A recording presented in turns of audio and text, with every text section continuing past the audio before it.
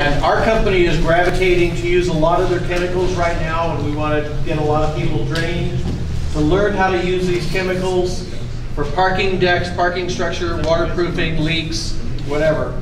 So the things that we have coming up, the projects we have coming up, we're going to be training on today with a particular line of chemicals, including caulking of the concrete, putting primers down, putting tape over the joints, the primer coat, the base coat.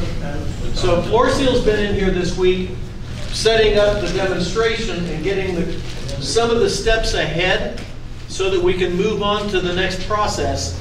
So while we get started with the caulking, we don't have to worry about this stuff to dry to get to the next stage of the presentation.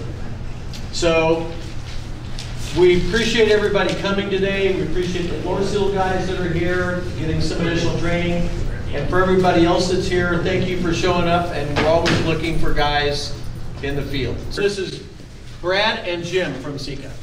Good afternoon. Good afternoon. Brad, take over. All right, thank you, thank you, Bill, and thank all of you. You're giving up a Friday afternoon. You'd probably rather be starting your weekend, right? But we appreciate it very much. This is going to be hopefully very informative. Uh, We hope to learn from you as well. So if there's something we're, we're showing you uh, that you want to add to, uh, you know, what we're doing, please. You've got a lot of experience, a lot of experience in the room here.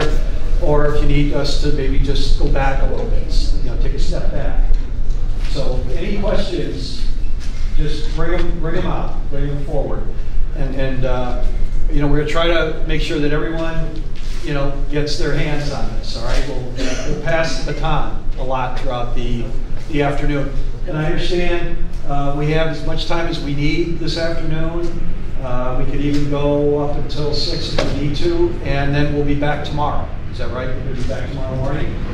Okay. It doesn't do much good to be here today if you're not here tomorrow morning, because you need to learn the entire system. And the reason it's a two-day process is because uh, what we're going to be putting down today needs overnight in order for us to finish what we're doing.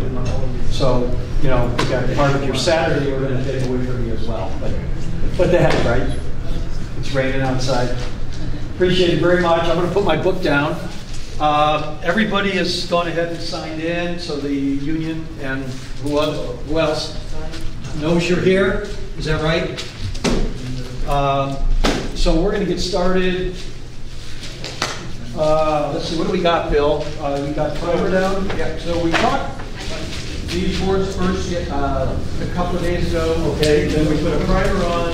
Okay. This, this primer's been on for like five or six hours. Okay. Probably good enough to get a base on. Yeah, yeah, So we want them to start with the caulking. Okay. Over here. Okay. So we want you to show them the proper way, Right. the different caulking does. Yep. We have a sausage, we have some two components. Okay, all right, So good. we can try different caulkings. Great, so uh, why don't we, why don't we make our mix area right here Okay. in front of everyone?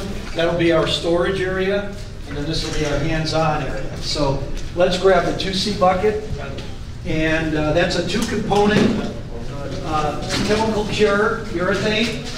Uh, Maybe some of you are familiar with that product. We also brought along one part, Fast Cure.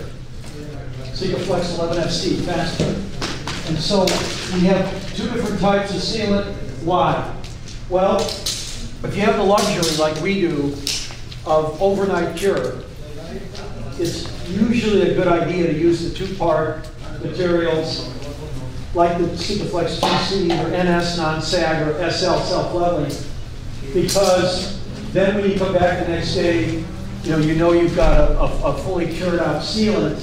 And if you're gonna cover it with a membrane, I gotta get you different you don't have to worry that it's not fully cured, because it's a chemical cure, it's gonna continue to cure. So I usually recommend the two-component whenever we're doing waterproofing, or we're going to cover the sealant. Because most sealants, most one-part sealants take seven days for full cure. So again, if you have the luxury of an overnight cure, or you're gonna cover it, I recommend a 2C. Now, we don't always have that luxury. Sometimes we have jobs where we've got to pocket and we've got to cover it right away. And we don't maybe, you know, don't maybe want to, want to let uh, 2C cure out long enough for us to cover. And again, I usually say overnight cure, But there's cases where if you give 2C long enough time, you can cover it the same day. If any of those things aren't possible, then we recommend you go to the one part 11FC. It's a fast cure, two hours, you can cover it. Once it skins over, you can cover it. And so, you know, it's a much easier product to use, right? There's no mixing. You put it in the caulking gun, um, you know, puncture the, the nozzle and, and go. But, uh, you know, again, the, uh, the two C, uh, is a big advantage, so, because it also has improved properties. And, and the two C has more movement capability, and again, it continues to cure even after it's started. So, again, we've got choices, we've got choices. So we're gonna go ahead and demonstrate both. So the two C, because it's a chemical cure product, the two part requires mixing. And the mixing should be done with a, a, you know, pretty robust, uh, drill. You know, Usually we use like a Milwaukee Hole-Hawg or something like this with a, with a half inch drill motor. Because you'll see, it's it's thick, very thick material. A battery operated drill is not, it's not gonna do it. Um, Also, it's really important with mixing sealants, with mixing GC, is that you have a sealant mixing pad. Never mix this sealant product with anything other than a sealant mixing pad. And that's this paddle, this product, this mixer right here. It's a weird looking shaped mixing device. You will not, you will not find this at Home Depot or Ace Hardware, Orchard Supply. This, you've got to go to a specialty waterproofing supply house. We have several in the Bay Area. And, and you'll, you'll ask for a sealant mixing paddle. I've had a few situations where I get a phone call, the sealant's still gummy and not curing, and this is days later. Brad, what's the problem? So we go back, we look at it, and we cut some out, we try to figure out what happened. And it turns out that the wrong mixing paddle was used, and it never mixed. And if you try to use like these paint mixers, or you use um, a mortar mixer paddle, uh, what happens is the material just gets clump, clumps up inside the mixer. It gets trapped. These cage style mixers, it just kind of sits in there. And you think you're mixing it properly, and all it's doing is just staying stuck inside the mixer paddle. This mixer paddle doesn't have a cage. There's no place for it to get stuck. So it's gonna always be, you know, mixed properly and, and not, and not end up uh, a big clump of unmixed material. So again, I really reinforce that we use a proper mixing paddle, i.e. a sealant mixing paddle. So, having said that about the drill, the mixing paddle, and now the product. uh, In the 2C bucket is the B component, it's kind of uniquely packaged. It's stuck inside, where you saw the lid come off. And uh, there's also an A component. And it's separated by this little plastic bladder right here. And uh, I don't know if you noticed, the lid came off really easy. You just pull a pin and then a ring unsnaps. So no more do you have to go around with a screwdriver, you know, just like literally spend what seems like eternity opening the pan. Um, So I'm going to need uh, help with this, and I, like I said, you know, go around the room. So we'll start with you on my right, is that okay? Are you okay? And we'll just right, go right on down the line, so don't, don't go out of, yeah, don't change your spot. So, um, yep, go ahead. Why don't we have you come into the picture here? And you're, he's gonna work with you. So we're gonna have you open that. We're gonna have you dispense that material inside, so be inside the A. And you should probably get some rubber gloves with that. And yes, do, do we have enough rubber gloves to go around? Okay, so, We should. Bill, did you think about rubber gloves? I usually have some in my truck and I don't. But we should, we should make sure who's ever handling these products, okay, good. that's the longest margin call I had. Uh, safety glasses? Uh, how about that? We we have the safety stuff with us? Safety glass? I think I've, I've got, uh, pair of new ones, I believe. Back up here. Problem we had last time. None, none here in the, in the building. Because, yeah, we want to practice, you know, okay, you got some. So, yeah, we do want to practice obviously proper protective gear, safety glasses and rubber gloves. These chemical products are very safe, they're California VOC compliant, but it's also important to be safe. Um, So go ahead, open that, you've got the the knife, and uh, you you open it at the very top. Yeah, yeah, you can actually go across the top, all the way across the top. It's, it's not that liquidy, I mean, it's, uh, it's more like a a gel.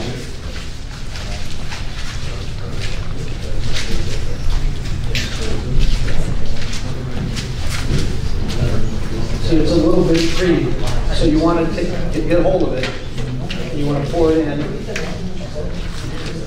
and then you want to, you want to squeeze it out, maybe you could help. You want to kind of work, work the material from the bottom. Okay. Okay.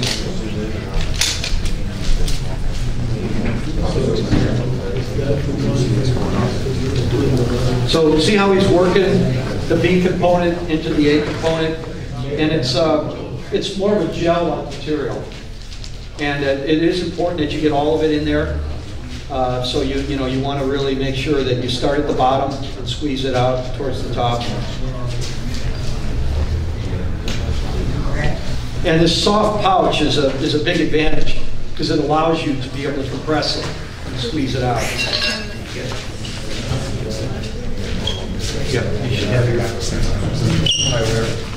So you think you're 100% there? Just lay it flat and make sure that you've got it all out. Does it look like you've got it all out? Yeah, okay. Okay. All right, now we've got the, uh, the two products introduced, and we're, and we've tied a rag on the bucket. This is a good idea. It keeps the bucket from spinning, so stand on that. This, it's all plugged in. We're gonna have you put it in, and then you're gonna turn the material. Uh, You don't really need to go up and down, but you need to make sure it fully mixes, and we typically mix for five minutes. We wanna make sure that the bucket actually gets dented. And the more dense, the better we know we're mixing.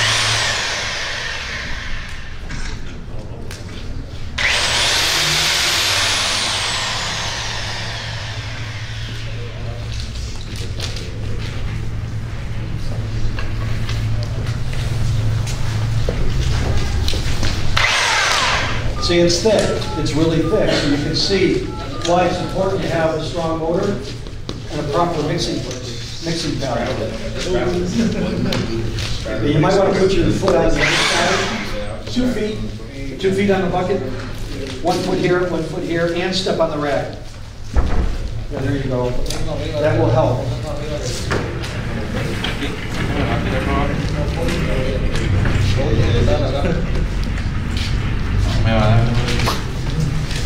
If you squeeze the bucket,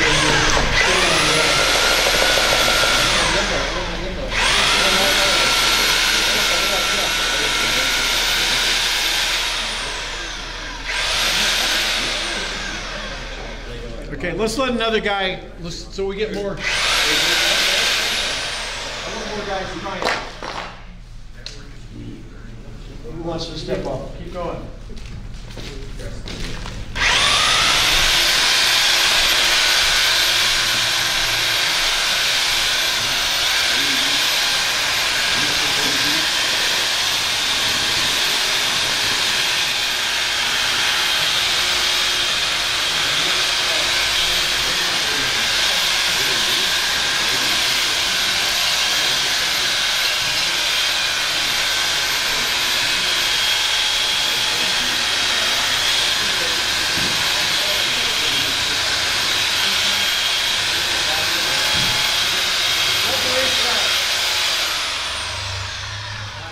And after another minute or two, we'll stop and we'll spray the sides of the bucket.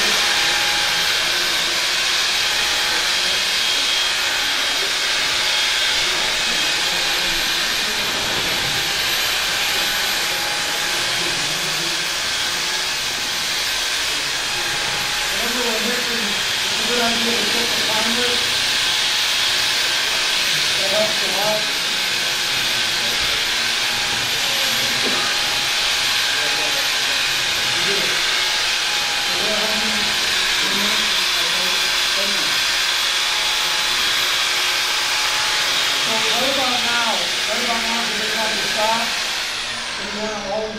side of the bucket. So somebody take the margin trowel and go ahead and scrape, the- yep, scrape, scrape the side of the bucket, because sometimes we'll have material that's not mixed collected around the side.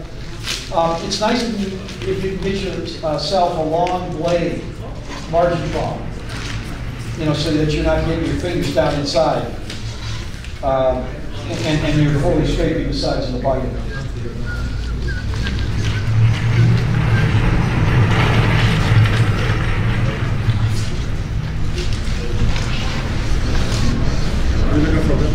Okay, that looks pretty good. So we'll mix another, say, two and a half, three minutes.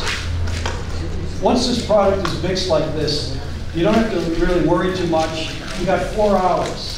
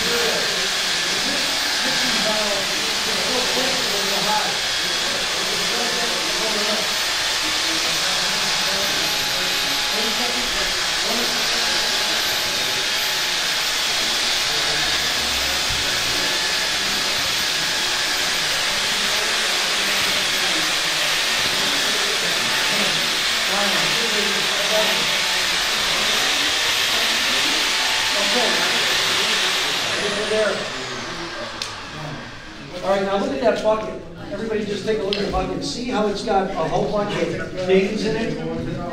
And, you know, little distress marks. That's a good sign. That tells me that the mixing paddle was hitting the sides of the bucket, you were getting good mix. Plus, we took the time to scrape the sides of the bucket halfway between the mix. So that's all what you want to look for, again, with the proper mixing paddle, the proper mixing device, the drill. So we're ready to go. I don't see any discoloration. It looks like a uniform color. This particular uh, bucket of 2C is what we call pre-pigmented. It's got a color already in it by the factory. But this, this product is available in a tint base, and you can add color packs, little packs of color you can add. So if somebody wanted black or green or whatever, you could add a color pack to the tint base. Right now, we're using the pre-pig limestone gray. That's what most of the jobs are, probably ninety percent. And especially color wouldn't matter because you're gonna coat over it with the traffic code. So you'll never see it anyways. No se me. So I think we're ready. Uh, Go ahead and pull the mixing paddle out and uh, probably should unplug it because we're going to clean the mixing paddle as we pull it out. You're going to scrape all that material off. Now imagine if that was like a jiffy mixer or a mortar mixer or even a paint mixer. You would never be able to get that material off of it. It would be stuck inside. It would be a disaster. Here, very easy to scrape off the excess material. There's no place for it to hide, no place for it to collect. Is that mixer a throwaway after this? Uh, Good question, Bill. Uh, No, No, you shouldn't throw this away. This mixer paddle probably costs 25 or 30 dollars, maybe more, and there's no reason to throw it out. Now, I know time is money, but, you know, just as simple as, as this, you just, you know, lay it, probably should maybe get some piece of paper down here, might be easier to lay it down. Uh, Yeah, against the bucket like that, that's fine, and just scrape it off the paddle. Again, it takes maybe five minutes, and then, uh, you know, because this material won't harden for four hours, a lot of times you'll just stick that in a bucket off to the side, and then open up another unit of 2C, and then use the same mixing paddle, and you just keep mixing. The end of the day, before it finally hardens up, that would be your final cleanup. That's where you would really scrub it up, get some solvent on a rag or a brush, and really scrub it up. But I, you know, I encourage contractors not to throw these things out. There's, they're not plastic throwaway items, they're not like a box of wooden paintbrushes that you would throw away. This is, a you know, it's a quality piece of, of tool that, that you should be able to reuse. Can you stick it in a bottle or a uh, bucket of hydrogen or something? Yeah, usually salt, like acetone in a, in a, in a uh, pail with some sand. You've got sand and, and, and uh, acetone, you can run it in that, and sand will kind of clean it, will abrade it. You guys do that? You seen that trick? You know, kind of like scrub. Yeah, kind of Yeah, scrub. it's on right there. I've never heard that. Yeah, yeah, bucket, with- a little, little bit of sand in the bottom of the bucket with acetone, you stick it in there and spin it. It's a great way to clean epoxies off of any kind of mixing paddle. Um, But this, it's about eighty percent, ninety percent clean. The rest of it, you can literally just take a rag and wipe it right off. Um, So we can, we can do that between, uh, you know, steps here. and uh, Right now, I think you got to clean it up, we can just scrape the shaft there a little bit. And what we'll do, who wants to be next? Who is- Yeah, yeah, we're gonna, we're gonna create a a joint, so good idea. Do we want to open up these boards, pull them over just a little bit? So we're gonna, we're gonna duplicate, you know, the, the joints in a building project, you know, a slab floor. And, and we're gonna, we're gonna, we're gonna caulk.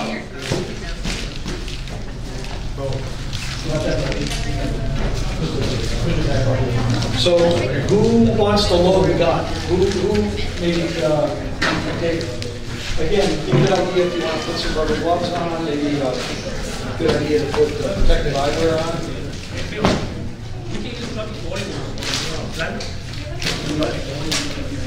They have different front buckets. Yeah, this one too. Greater joint here. Yeah, well, there are a lot. We should have it. Let's do them all, because we got enough material. As soon as we get to the front, I'll have you pull and discuss front. This one too. So now you're going to discuss all the cockpit. Oh. Oh. Slide that one down. I had them just right, you guys, you screwed it up. No, no, we didn't have one right here. Okay, you see what we're doing here? We're creating building joints. And uh, we're gonna go ahead, and we're gonna load this gun, and we're gonna, we're gonna start talking. And while he's loading the gun now, you wanna, you wanna demonstrate the the proper way. Um, You, you you put the barrel in, you pull the material in the barrel. And, and you just have to go deep enough and follow it down as you, as you pull the material and see how the material starts to drop in the bucket. He's loading the gun, there's about 20 ounces of material. That's quite a bit, because a standard cartridge will hold 10 ounces. So it's like putting two cartridges in the barrel of this uh, gun. And then you take the, the uh, trowel, the margin trowel, and you scrape the excess off. So there's a few steps involved, but again, the advantage of using the two-part is it's a chemical cure. And whenever you're gonna cover ceiling, it's a good idea to consider the two-part, like I said at the beginning, because it's going to you cure. You'll never have to worry about cure. But we're also gonna demonstrate the one-part 11FC, and we might as well get that going too. Do we have a 10-ounce caulking gun? And you wanna find a 10-ounce caulking gun? We'll talk about that. And we'll go ahead. have a ten ounce caulking gun, I think it's- we have a ten ounce caulking gun. There should be three, three caulking guns. That's not a problem. We'll do Is that in our our boxes and supplies? Yeah, all right, good. Uh, Yeah. Probably around ten thirty. So let's, uh, let's start a new cartridge. We're not there. Okay, so while, while we're loading up the two-part bulk dispensing gun, oh, here they are, there's a bunch of them. We're gonna go ahead and uh, talk about the one part. Again, fast cure, 11FC. So the advantage there is, uh, is it's easier to use. You got one part material, uh, no mixing. um, And uh, all you have to do is just cut the tip to the width that you need to the proper joint and then puncture, you know, very straightforward. Um, Again, we, we wanted to show both, because there are advantages to both. And, and the other thing, which, you know, I won't get too much into, is the properties. The two-part materials have higher performing uh, properties, they have greater movement capability. The one part is limited to how much movement capability. So again, that's what we wanted to really train you on both. So here we go. Uh, When you caulk the joint, there's a lot of things involved. Number one, the proper uh, cleanliness of the joint, so we're going to assume we've already done all that. We've already uh, ground the surface of the joint. Maybe we've wiped it with a rag, might have some solvent on it just to get rid of the dust. And then the uh, width of the joint is important to know, uh, so we can size the, uh, the tip that we're going to use. And then also, the depth of the joint is very important. You don't want to go too deep with sealant, because if the sealant's too deep, it won't move, it won't uh, flex like it's supposed to. Um, If you have too deep a joint, we put what we call backer rod. We put backer rod in, and the backer rod is to, to keep the ceiling up and not fill the joint too deep. So you're familiar with backer rod? Does everybody know what backer rod is? You know, the foam that goes down in the construction joints, when you want to caulk something with, with foam, okay, that back rod, That's important. Again, too deep a ceiling, it's gonna be like a big thick plug of rubber, and it's not gonna stretch very well. Trying to pull a, a brick of rubber, guys hear that? Not very, but a rubber band, a rubber band will stretch real easy. So we wanna make sure that the sealant depth is typically no more than half inch. So if you got a really deep joint, stuff backer rod in there, bring the sealant up, so that your depth of sealant is no more than half inch. And and ideally, we'd like to see a a width to depth ratio of two to one. Get in there, So Marcus. two wide for everyone, not to exceed inches. Well, we're, this is a good question, how much over? When you're caulking the joint, the sealant and, and how it attaches to that joint is the inside of the joint. We don't really care about the excess on top. We want it to go inside the joint. So once we're done caulking, once we're, once we're uh, gunning the sealant into the joint, you want to come back, and you want to tool it. And when you tool a joint, you force it into the sides of the joint. Now, normally, on real aesthetic jobs, jobs that, you know, require the joints to look really nice and pretty, like the outside of a building, uh, you, you would tape them. So maybe we should do that. We should get some blue tape. Do we have blue tape? And we should demonstrate the proper taping of the joint so that when you gun it and tool it, if there's excess sealant, you don't care.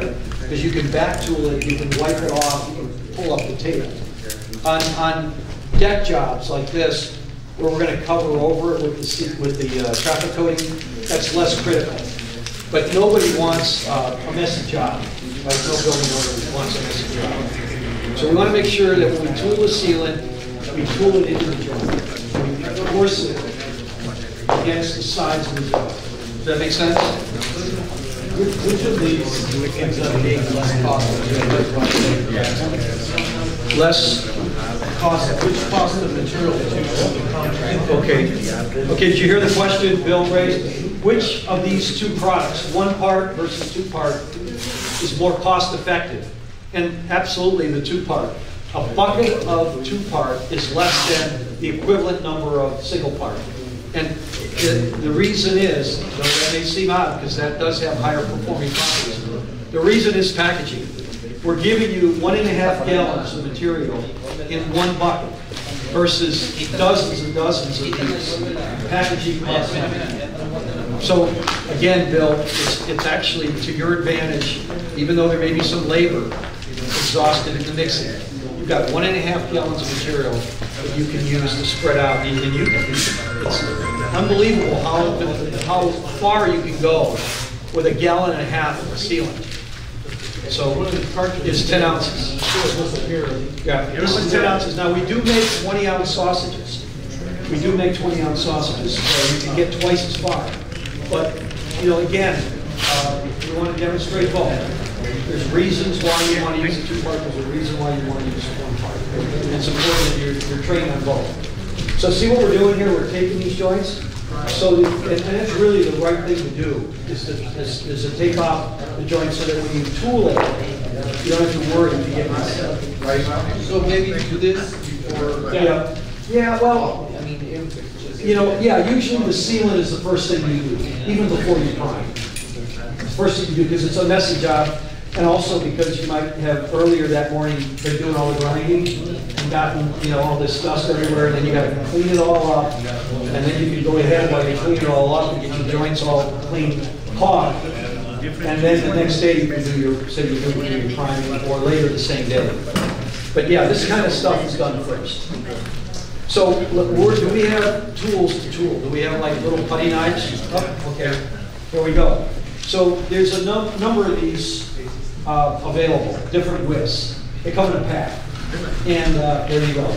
And so, uh, you know, Jim selected the one that was right for the width joint. You typically want the tool to be equivalent to the width joint. Can you go show that from the camera? All the different types and sizes. Yeah. Where's, there we go. So, uh, here we go. We've got, uh, literally, what, a dozen? Yeah, uh, eight or so. Yeah. So everybody can see this, that we've got all these different size, uh, tools, for tooling the joint. And, and these are inexpensive plastic tools. Professionals get into the more expensive metal, uh, tools for tooling.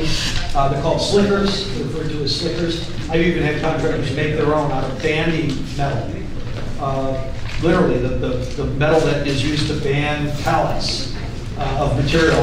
They, they, they say that, and they, they grind it and shape it, and it becomes a very effective slicker for tooling and sealing. Um, These are available through our distributors inexpensively, and, you know, they're, they're really kind of a throwaway item, is what they are. So we're gonna go ahead uh, and gun some one part, and we're gonna keep gunning these joints, one part two- and, and two part, so everybody has a chance to do that. And then we're gonna tool it, okay? And the tooling is so important. You never wanna just talk and walk away. The tooling is important because it sets the sealant against the joint. And it ensures that we're gonna get good bond, right, good adhesion. So uh, we're really uh, not ready to tool until we gun some more sealant. So who wants to be the next person? Who hasn't done anything yet? Okay, so you're gonna do the one part, you're gonna need to cut that tip to about the width of the joint, maybe a little less. And then you need a wire, a hanger or something to puncture it. It's usually attached to the tool. There might be one over there. How about that blue one? I think the blue one has it. Yeah, so you can use that, you can use that blue coffee gun, it has a wire on the bottom.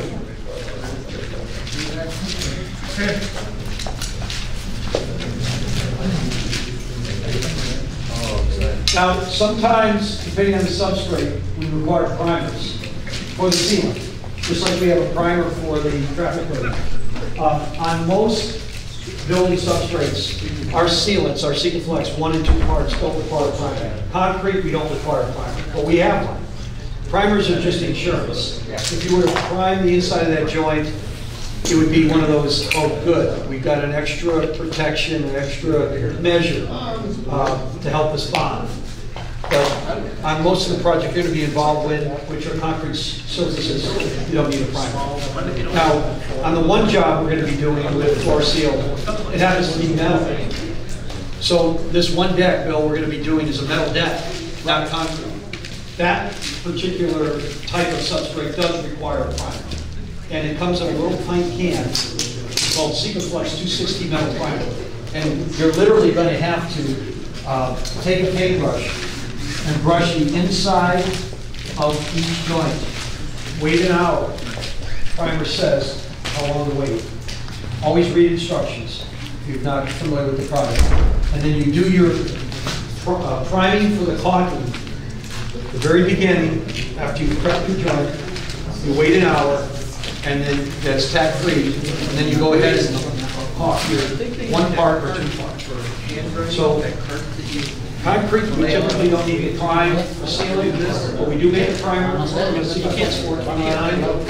Metal, we do want you to prime, maybe 260 metal prime. Not today, but I And then we have like, plastics, PVC. Sometimes we'll caulk PVC. And that's another. Bill, when you get To our do hands this. to do this,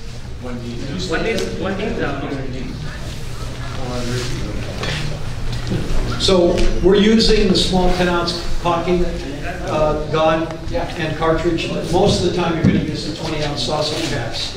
Uh, But we, we we don't have any here today, so. But you can see how much slower and how many more times you're going to be adding cartridges when you use the single part, especially in the smaller size versus the two part. Two part, you just load a barrel, you caulk, go back, load the barrel, caulk, go back, load the barrel, caulk. So we're, we're continuing to caulk. Um, Again, this 11FC, we just ran white. We don't care about color because it's gonna get covered over. Yeah.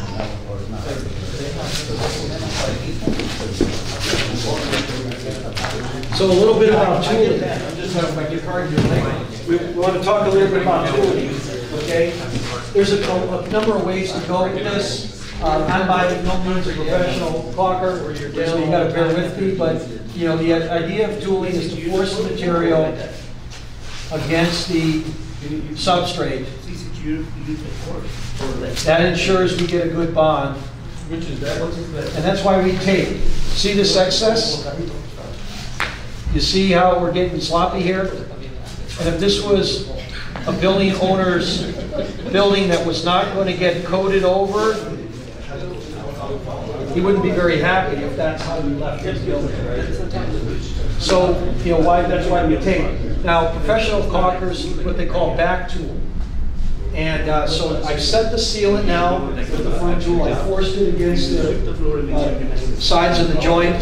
And if we have a spatula or a flat uh, putty knife, I can back tool. And then uh, send me some rags, I need a a bunch of rags. With sealant, with caulking, sealant, we're gonna go through a bunch of rags.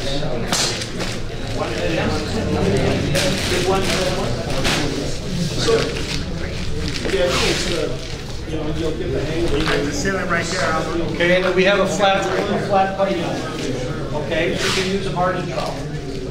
But we'll see, when it, be surprised. So, so I've already front tooled it, and then, you know, professional caulkers will have, have uh, two tools in their hands at all times.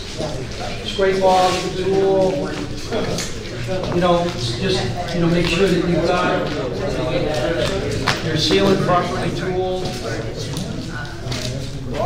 Very rarely, right? So you're always working the sealant like this, right? And then, you want to have a rag, um, you know, unfortunately, you've got a waste material. And then you want a back tool. See how I'm back tooling? And, you know, if you can reuse this, great. If you can't, it just goes to garbage. Yeah, you can just put it back in the bucket, because it's not a long topic. Yeah. And, and, you know, professional caulkers just do this one time. You know, you just, just tool it once, But we used a lot of, a lot of material. I mean, this is, you know, more than you would normally want to dispense into a joint. But that's why we're here. We're here to learn. And uh, you get better, you get better the more you do this.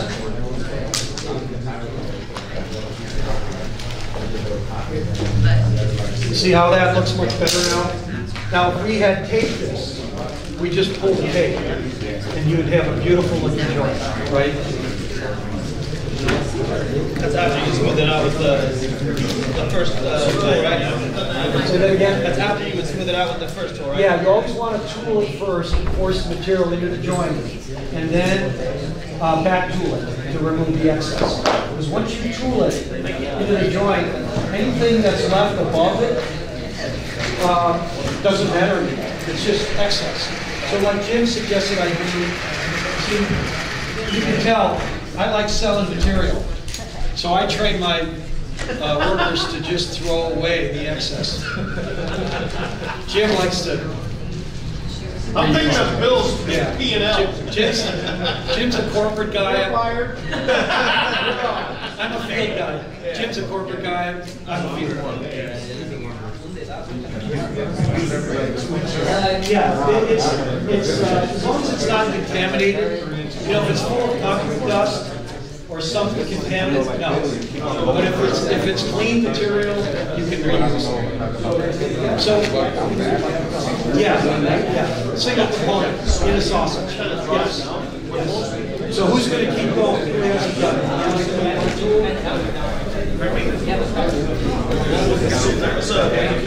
Do that? You got rags or gloves? You know what? Do you use that on the side of it or? do you No, no, you just, you use the whole, the whole tool. Now, you know, these are, you know, these are plastic and they're not like the professional ones. I mean, you gotta, you gotta take it with a grain of salt, right? Because, because there's all kinds of shapes and sizes, but for the most part, you know, you basically just want to put moderate pressure so that you're forcing, you want to force the sealant against the, the joint nosing, against the, the sides of the joint. And that angle, you know, is, is kind of important. Now, you, can- you can, you know, you can go back. The heat is getting the proper coverage on this side. So technically, yeah, you, you do want it just slightly compressed and you want that little concave look. Yeah, oh yeah, you want that hourglass. Yeah, the, the shape of the sealant allows it to flex. And that's why, uh, yeah. Oh, so you don't want it to bulge out.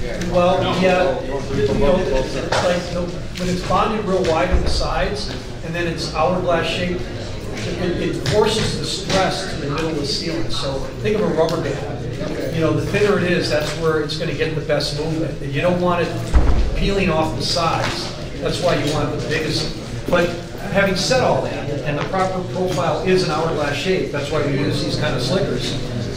When you're doing traffic coatings, you, you don't have to, and it's probably preferred to not have that too much of an hourglass shape because it'll telegraph through the coating.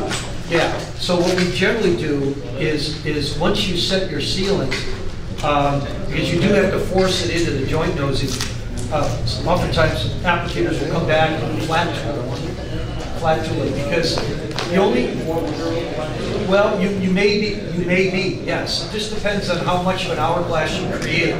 Some of the guys that do this a lot have a technique where they, uh, they get that sealant forced against the sides of the, of the joint, but don't create too big of of an hourglass. Uh, because Bill, the only thing left, once we leave our sealant, uh, and, and, and we're ready for the rest of the, of the steps, the only other uh, The only other thing we have is the detail coat.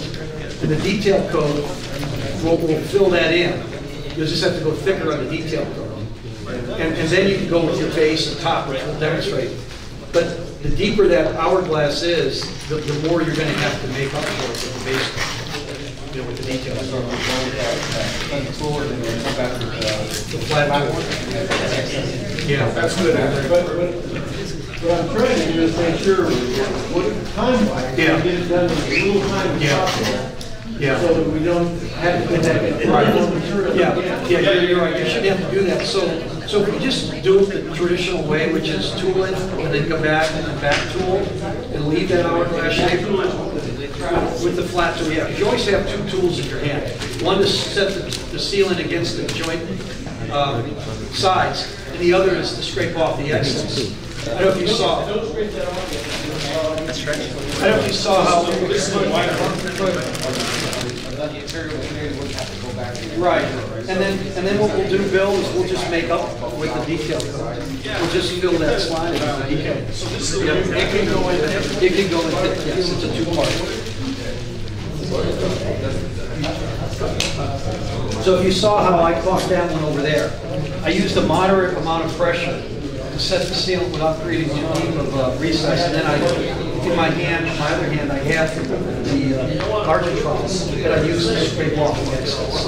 I assume this is not satisfactory. No, no, that, that's. So guys, remember, this is not satisfactory right here. Before he fixes it. Wait, So we just want to see, see the one I did up there? See how there's no voids, no air bubbles? And, you know, it's it's pretty much just the way you'd like it. Here, we've got, um, you know, kind of not enough sealant, if you will, because we didn't fully fill the joint.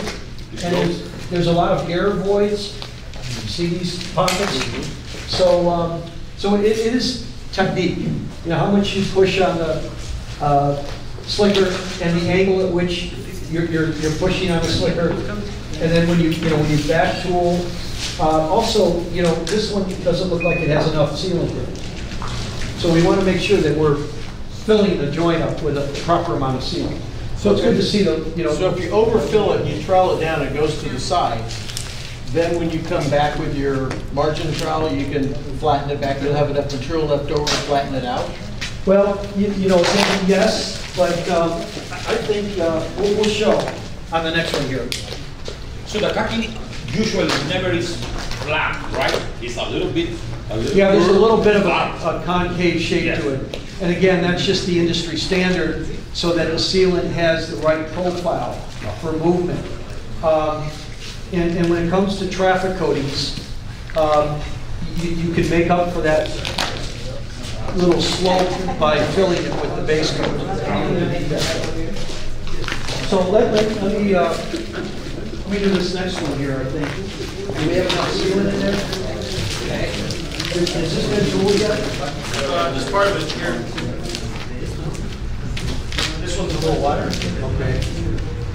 Well, and that's part of it too, you know, we need to, uh, we need to, I got it right. We need to pick the right size slicker for the joint, so that we're not going too deep.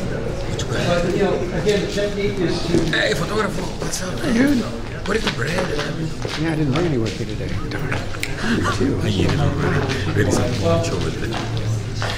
Eh, All, all the time when I see some bread, I remember. It's good. see how I, I've got the sealant laid in there very nicely? You know, and then if you hold up that tape, might not be too bad. Well, then we want to, we want to back tool. Yep, we got the margin trowel right here. So then, you know, we typically,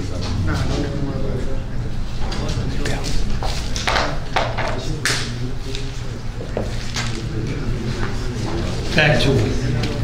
And it's a little hard on plug because you've got these uh, knots.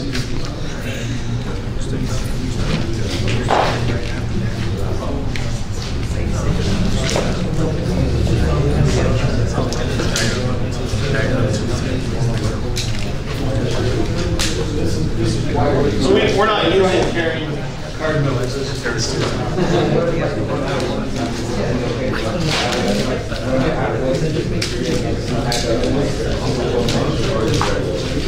Uh, in theory, yeah, they're both polyurethanes, but they're cured differently. Yeah. And different colors. So that, that came out pretty good. The main thing is you don't want any, any air holes. Yeah, it's, uh, you know, the technique is finding the right the right tool for the joint, usually we try to undersize it a little bit. Yeah, this one we gotta wait uh, two hours only, and then we recover it. It's gotta skid over. The, uh, the two part, typically we like, um, we like overnight turn. Uh, Now, if you, if you had a long enough day, you're gonna start to tap over in maybe about four or five hours. So, so you, you could theoretically talk in the morning, you coat in the afternoon. You have a garbage bag over here? Rip that thing off. How long do you wait, Brad, usually to take the? Oh, you can, you can, you can pull the tape right away. Yeah, so I would pull it, and you'll see how good it looks.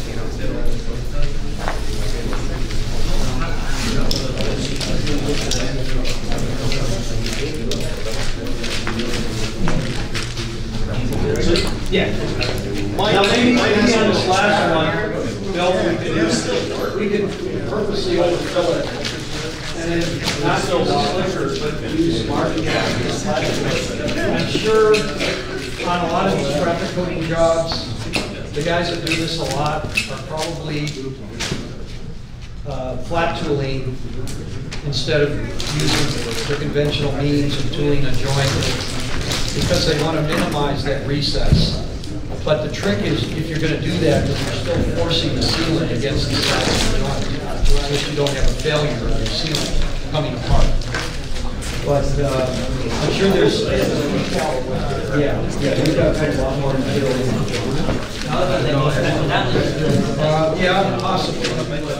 But it's better off to fill it right from the beginning, because it's going to be hard.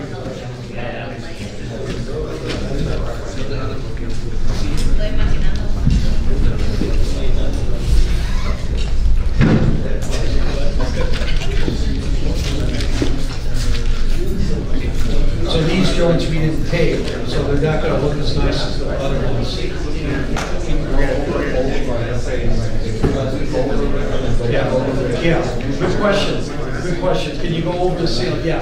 If it's uh, been there, you know, enough where it's collecting dirt, you wanna go solvent wipe it?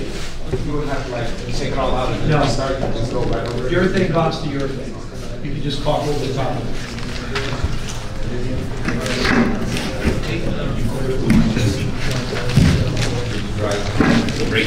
Yeah, you, no, you're right.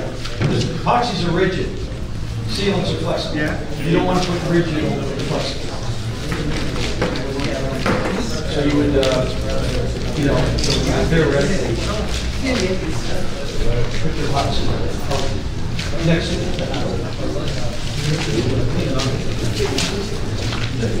it. Okay, try this yet?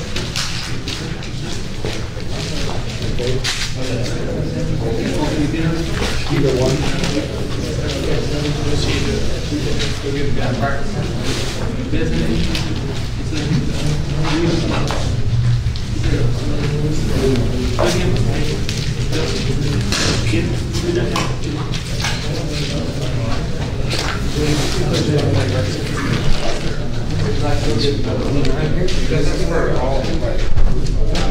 Is there another rule, man? Yeah, cracks, joints, saw cuts, you want to show a hole, because there's a lot of uses. And again, the big part, you know, here, you don't have to worry about how big the area is. These are one part big,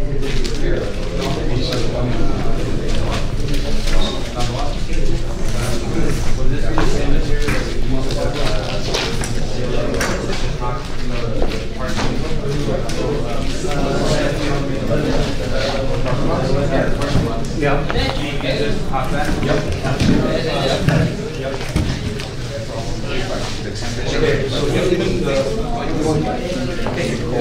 you need a, uh, a wire.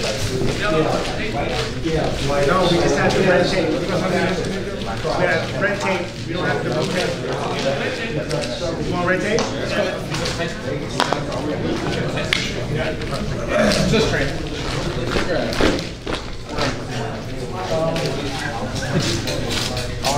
Yeah, it's, um, Yeah, see the board, you know, flexes. It's hard. Yeah, it's, uh, see the board. But, yeah, normally, uh, we want it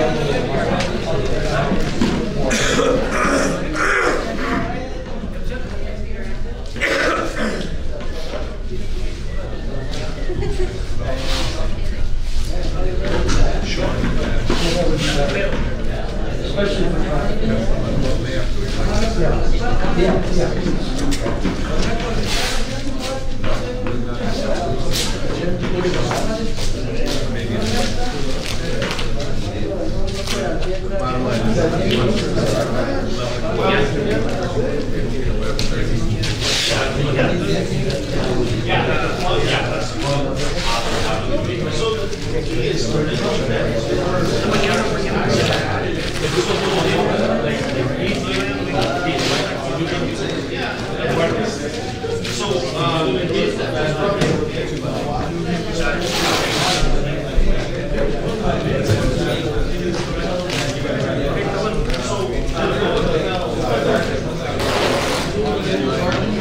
No, no, no, no, no, when you fit it in, you strike it off. Oh, okay. Because you got two flat surfaces.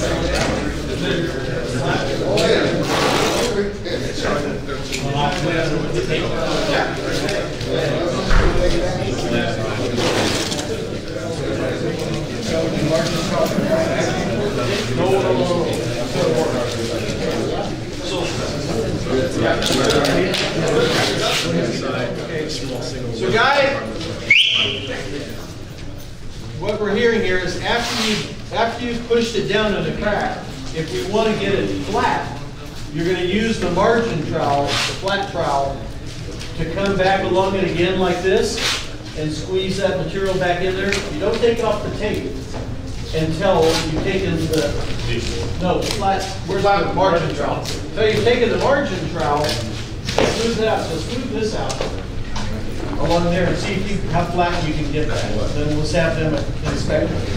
So you know what we can do on the next one, over on this side? We'll just do it with the margin trowel. We won't even use the slip. Fragile. Yeah, yeah, as long as we got the sealant forced against the sides of the joint. Because if you don't have that, the seal will peel right off.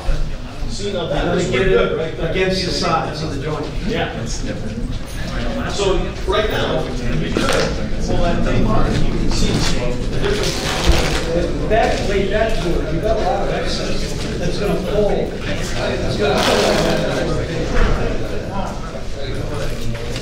And that's, that's probably what we need to do on the traffic jobs, that because, you know, otherwise you're gonna have to. That might be, uh, So yeah, look at that. That looks pretty good, right?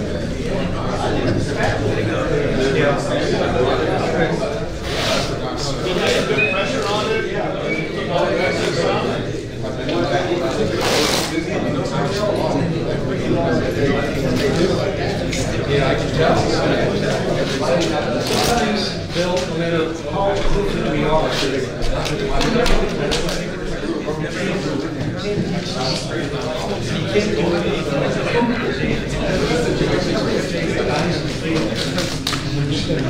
their hands on it, and, you know, there's a learning curve. Everybody can do this. You know, I mean, I've been in this business for like years, and I, still have problems.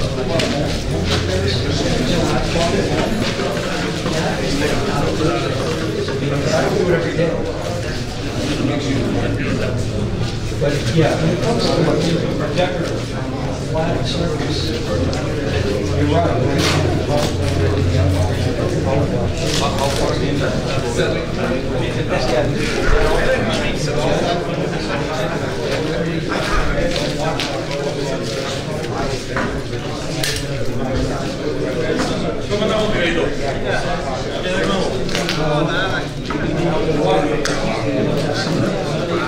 na casa.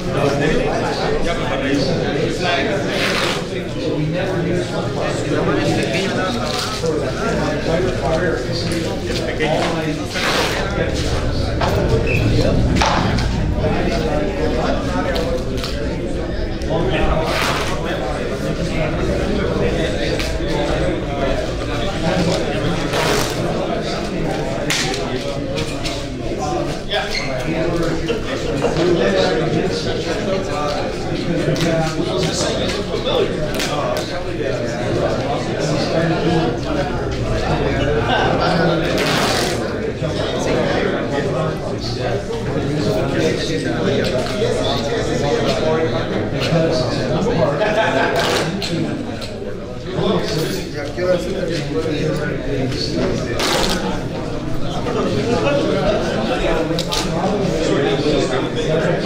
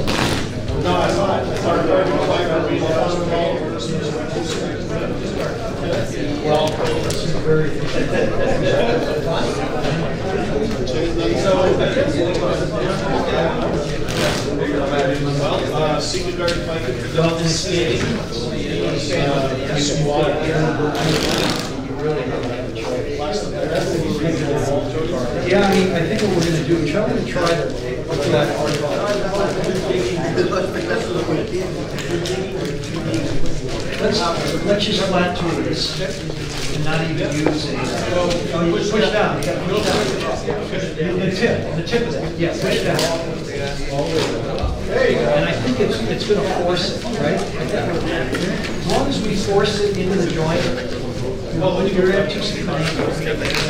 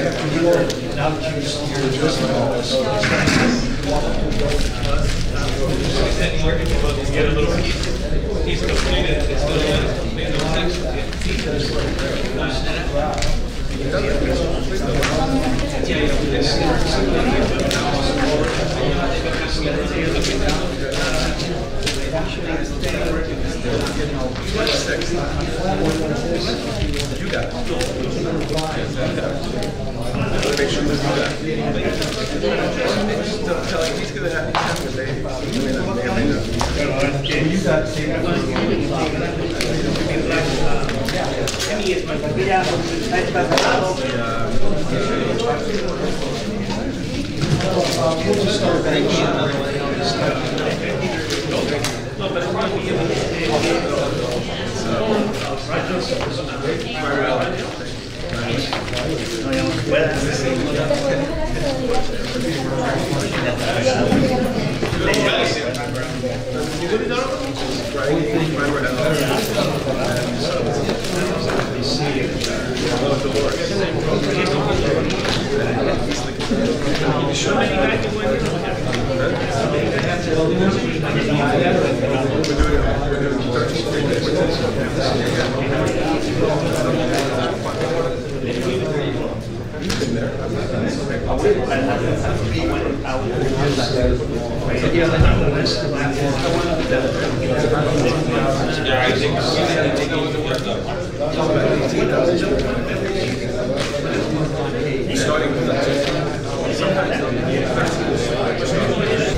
going to work on uh, the traffic coating system itself. So we were just discussing here amongst ourselves how to make best use of these two days. And, and since this was already primed out, we're going to go to this area next, and we're going to do our, what we call our detail. And the detail is the same material for the detail as we use for the base. So we're going to go ahead and detail over where we have sealants with a detail coat and the reinforcement. Um, Not always do we use reinforcement, but on this particular project that we're going to be doing, it, it, it's going to need reinforcement. So we're going to demonstrate what reinforcement is. So we're going to do that, and because it's a detail coat, we don't need a big wide roller. We only need typically a four-inch pass. Because all we're doing is detailing wherever there's sealant, wherever we've repaired cracks, uh, joints. And the reason that's important is because we want to adequately cover the sealant. We want to protect the sealant because people are going to walk on this, cars might drive on it. So we want to really make sure we get an extra layer of traffic coating over any of the areas where we have sealant. Okay, and that's why we do it. The detail coat with the reinforcement. Um, We're also going to want to prime out the area that we just caught so that tomorrow we can base it. But we're going to give that sealant a little more time to dry. Ideally, the 11FC, the fast cure, really, they want, we want two hours. But we're not going to wait two hours. We're going to cheat. And the, the, the two-part, we probably need more than that, or overnight cure. But we're going to cheat, just so we can keep the project moving along. But again, we're going to start here. We're going to do our detail coat with the product codes. Sikalastic 720. We're also going to base out this area so we have something to do tomorrow, so we can top coat tomorrow. Normally, you do the base detail, the detail with the base coat. You let it at least four hours, or go home and come back. Because we don't want to disturb the reinforcement while it's drying. But we're, again, we're going to cheat a little bit today. We're going to try to demonstrate the base coat and the detail coat on this side that's ready for us, all at the same time. But again, in the real world, you detail everything and then go home and come back and do your base coat everywhere. So we're going to have to be careful. After we're done with the detail coat, we're going to have to roll the base coat next to it. Because if we end up going over the top of it, we'll pull our, our reinforcement, we'll pull our trim up. We don't want to do that. Does that all make sense? Okay. So detail coat is what's next with that product. Now, this is pretty important. Okay, yeah, and here's our reinforcement. It's a nylon scrim, and we do that just to keep the joint, you know, from coming apart. It's a, it's another measure of, of holding the joint together. So we have one part traffic coatings, and we have two-part traffic coatings. We're demonstrating the two-part because that's what this job that some of you guys are gonna be on consists of. Okay, there's advantages to both, one part, two part. One part, a big advantage is you can dip you can roll, you can dip, you can roll, you can put the lid back on the bucket. If you're doing balconies, you're going from one balcony to the other, um, it's great, because you can close the bucket, and you can go to the next balcony. If you do it on a swing stage, you can ride up and down. Two-part, you can't do that. But two-part is faster cure. One part, you need overnight cure. Two-part, four hours. So again, you do the detail in the morning, you come back and do the base in the afternoon. You don't have to wait overnight. That's why this job was, was figured. So we got the two-part. But, there's a big but. Two parts, they go really fast. So I gotta think about this one a minute, because we only have one kit. Well, we don't want to burn one of Bill's, but we've got an extra one for tomorrow. All right, and uh, tomorrow is uh, basing over there, right? Yeah. Yep, because we're gonna prime it. All right, so we are gonna burn two kits no matter what. But I don't wanna burn three, so we're gonna do the detail. Uh, and then we're gonna do the base, we're gonna kinda do both at the same time. What's the open time of what's we missing? Well, it's, it's pretty fast material. See, now what we would do on that job, that's four gallons and one gallon. It's five gallons. So we would break that down into smaller pails. And we'd almost have a, a kit, a broke-down kit for each level of that bridge. I think we brought things to break it down. But, but on that job, you may burn a whole kit, I mean, a whole pail per level. I don't know, I have to redo the, it's, it's 23 mils. Mil is the thickness, 23 mils, which is, which is 70 square feet a gallon. Do you know how many, remember how many square feet? You have each level? sixteen hundred and eighty linear feet No, wait, no, square foot of, of the bridge. Square foot was Three thousand nine hundred sixty-four, we figured for forty-five acres. But forty-five hundred for all six decks. Right, but when, So but if you look at the 1,500 per drawing, deck. 15 per deck. And each pail, does- well, each gallon is 70 square feet a gallon, so a pail is 35. So yeah, one kit. No, not enough for the job, but you're gonna, you're gonna get some, some mileage out of one kit. So we definitely. So we're gonna need to, we're gonna need to batch these down. Okay, we can batch the detail down now. Yeah. All right. Yeah, so it's, it's a pretty easy, you know, a lot of these kits are designed for big wide open areas, right? It's not, it's not hard to burn through five gallons when you're pouring it out there, but on this demonstration, we're gonna batch it down. So we got, we got four and one. Okay, four and one. So if we, if we take a gallon of the, uh, of the, uh, of the A, gallon, gallon of the A, then we need a fourth of a gallon of the B. Right? And, uh, Gallons there's a 128. 128, and a fourth of that would be 32, right?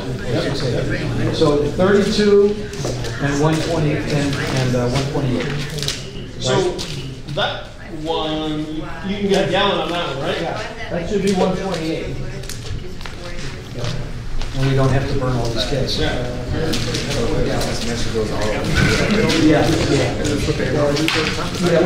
Well, flex, flexi tape. Yeah, ours is uh, a little different. This is what. Yeah. It's four inches. The structural word is. If you want to lay this out, does somebody want to help you? We'll cut this, we'll pre-cut all this. And we'll do it for all of these.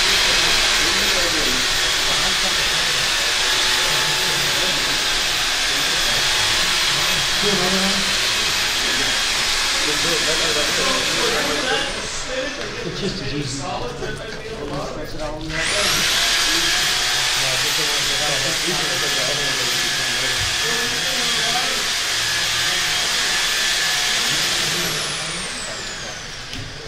And then we have the other joint.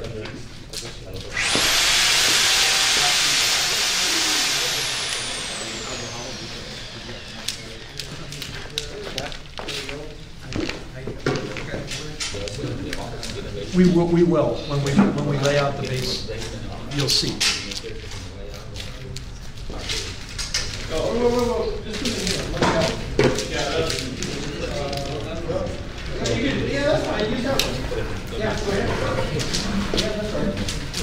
Is that bucket clean? It's got, it's got, it's got a little residue. There's no salt.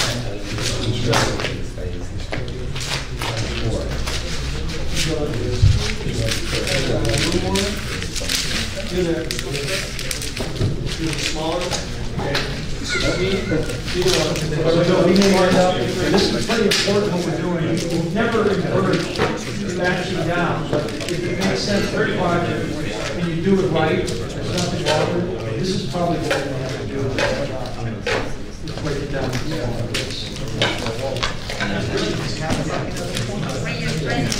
It might not, it might not be one gallon. Maybe two gallons. So we're only doing one gallon, hundred twenty ounces. Right. So we're gonna do sixteen? I don't know, it's thirty-one. It's a little over, the total volume is a little over a gallon. Oh, it was one twenty-eight. Yeah, it's a four to one ratio. It's a four to one. I Got it. Yeah, I'm just checking. yeah. Yeah, that's right. We're good, thirty-two. You know, uh, what our colleague Byron said, sometimes you just poke a hole where the top level is and continue to use that for the B component. Wow, yeah, I was trying to nice. We're gonna mix that up later, so. All right, so what we just did, guys, we took, uh, the proper mix ratio, so we can do our detail coat and not have to worry about it kicking off. So we scrape that out with a margin trough, you got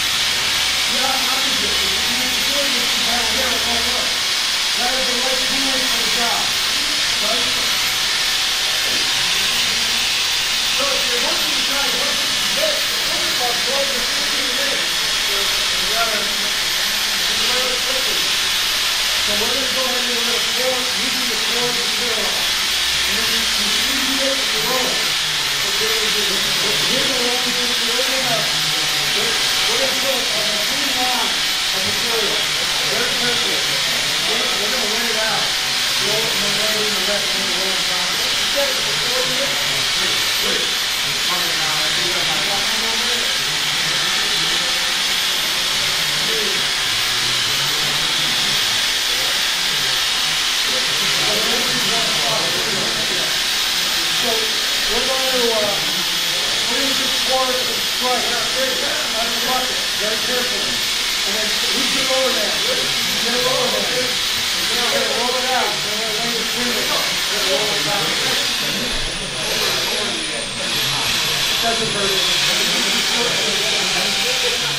You're going to make that right. You're, you're doing this before, pour a thin, a real thin line. A real thin line. Right down the center of that joint is fine. Okay, get ready to roll with that little roller. Just keep pouring, just keep rolling. If you get a little sloppy, it doesn't matter because that's our base. You can go wide. We want to get about a four inch wide cast. Keep going, a little thicker. This is gonna go into it. Yeah, it's gonna go in. Now, now come back. Come back, come back a little bit. Come back. Come back, come back here. Keep going, keep going. Okay, now move on to the next one. Move on to the next one. Okay, now somebody with gloves, get ready to roll this in. There's extra Get gloves over pouring. there. You gotta get pouring, get pouring. Over there, there's extra gloves. Roll this in, roll it, roll this out. You gotta come down here. Yeah, a little too So is that too much? No, no, because we'll just roll it into the scrim. No, Go ahead, lay it out. It's better Lay to it use in there. before, because you only, Yep, we're gonna lay otherwise you're on gonna use more material. We're gonna lay another top, lay it center as best you can. It's not a Picasso. Hold the end, hold the end of that page, you gotta pull it, pull it. Yeah, pull it, Now, like that. Okay, now, now come back the other way. He needs more, give him some more, give him a little more. Not much, just a little.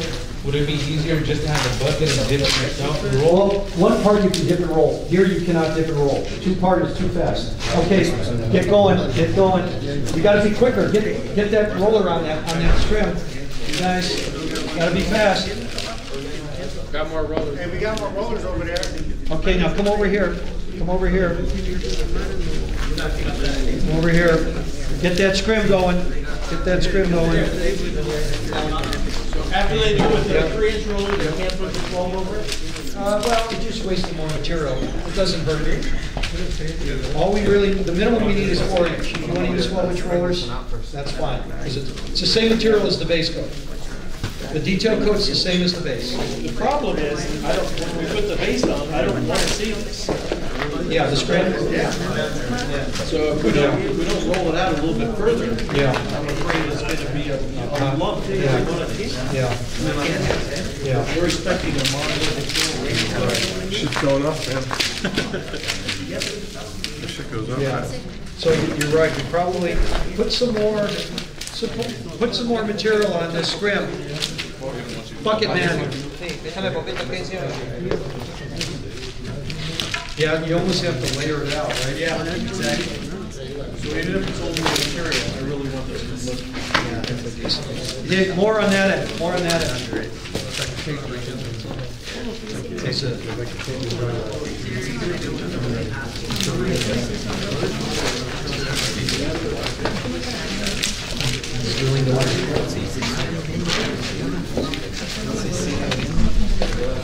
Okay, so we just don't want to, you know, wrinkle it. Yeah, no wrinkles. So, you know, work, work it one direction and then the other. If you wrinkle it, you have to take your gloves out and pull it out. Yeah, now let him do the final with the 12 inch. Just, yeah, pull it. Don't push it, pull it. And does he pull, it, can he, can he do it sideways too? Uh, yeah, looks like, um, you you just want to hide the edge a little bit. Thinking about kind of, He wants to hide the edge. yeah, I don't want the edge showing when you put it on. Okay, put more on top of that.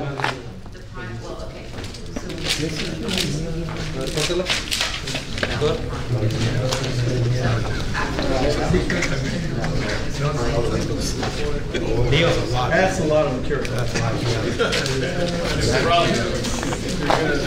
Really try and. So that'll hide the edge. That may be, uh, you know, part of the technique.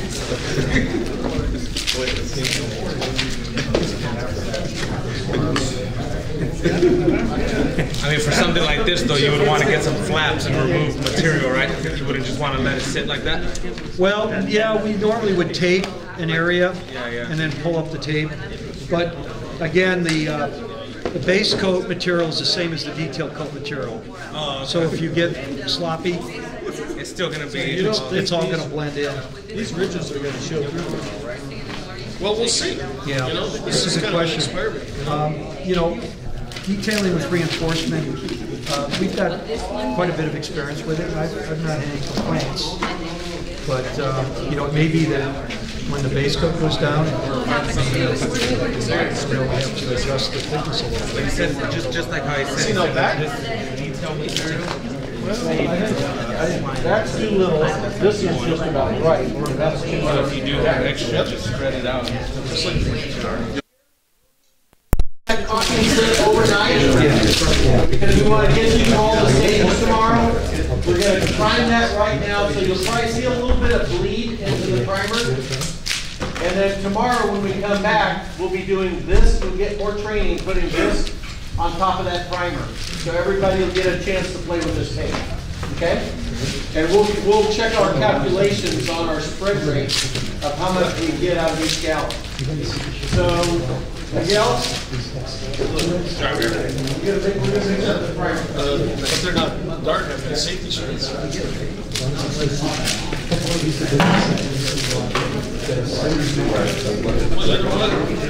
I'll have to sneak you into college, but I've got to put it in the bag. So you just heard Bill, guys, right?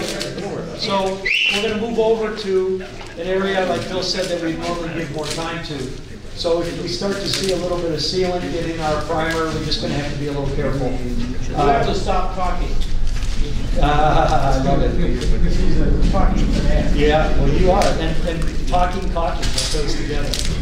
Uh, So we're gonna do the primer next. And uh, we do burn through that, that gallon because we could, uh, we could, we could, we could base out the rest of this if you want. Want want to use up the rest of that base? There maybe? Just blow through it, go over there in the corner? Just pour it out. So what we're gonna do, again, we're cheating here a little bit, guys, while we're getting ready for the primer, we're gonna use up the rest of the detail material, seven twenty, which is also. Maybe kicked off already. Yeah, I I would. Oh, okay. Well, if you can scrape it out, we're also gonna make, this is the same material we use for base coat. Twenty-three mils detail coat, twenty-three mils base coat. Yeah, dump it all out. Sometimes they just turn the buckets upside down in the bed, uh, scrape it out. But if we, uh, Question? Yeah. Do we, we don't go over the, um, the joints again, right? We just go up to it? No, you would go over. So, uh, Kay, if you did detail, this is detail in the morning, four hours later, they go over the whole thing. Yeah, we, we don't ever count the detail coat as part of the base, okay? It's extra, extra. So I guess I'm with Bill on this. How do we, I mean, so what appearance wise is it gonna be? That's what we're worried about. Well, We're gonna find out. You know, the base should level out, and, and, you know, you should uh, ha- end up with just the same, thi- you know, I mean, the thicknesses will kind of just correct themselves. Okay. You know, as long as we don't have a- a deck that's like this, right? Right.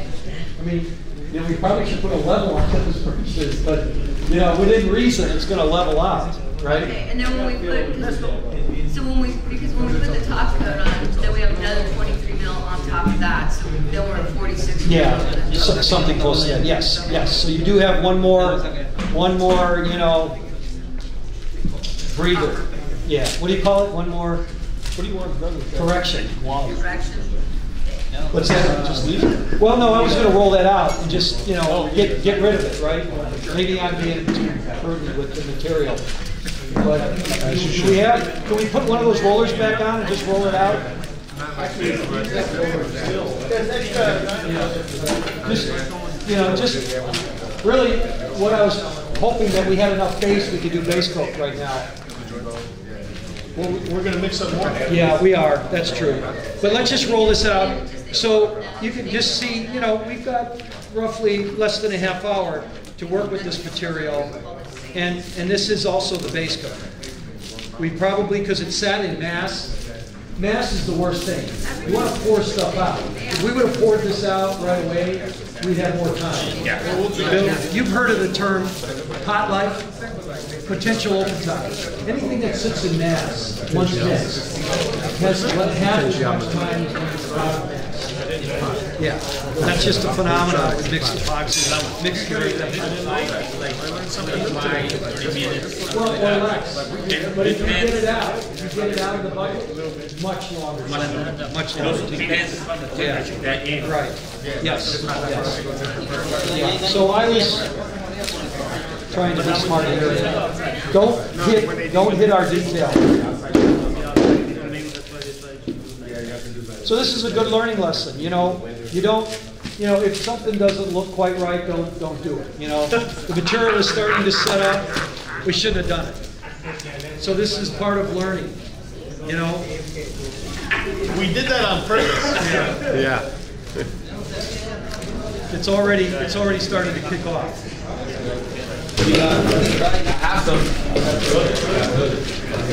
Awesome.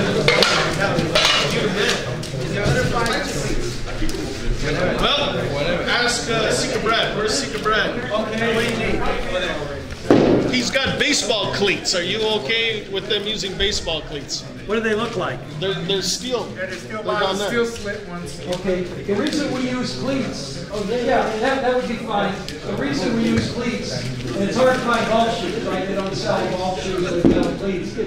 Um, is, is, metal spikes, is because we don't wanna mess up our work, right?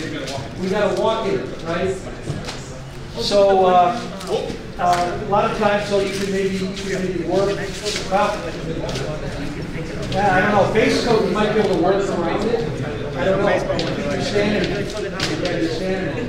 So, so, uh, so, yeah, and the other thing with, with base, not detail, but with base is we, we pour it, we squeegee it, and we back roll it. So we need three guys. The pourer, four guys, a mixer, a pourer, a squeegee, and a back roll. Four guys. We need, but we need whoever's on that, on the wet deck, you really want cleats. those spikes. You don't want those nice shoes getting ruined, do you? You can mix though. You can mix you. Pretty easy to mix. Okay, so we need the, uh, new mixer in the Milwaukee, big one, please.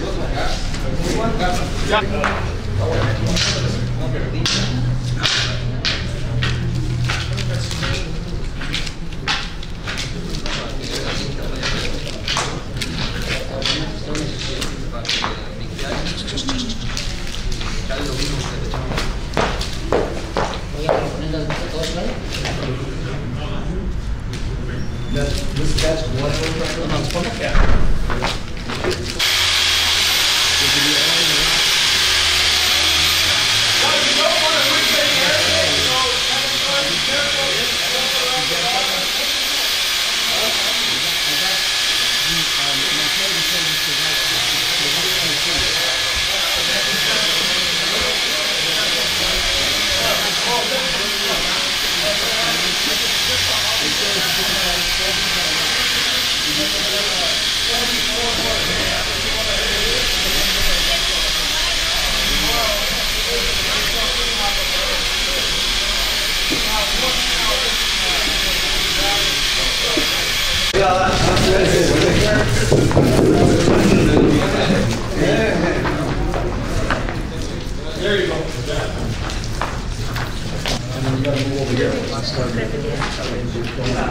Yeah, that's good.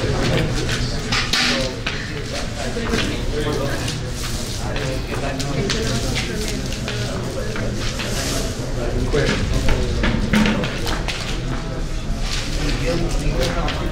Thank you.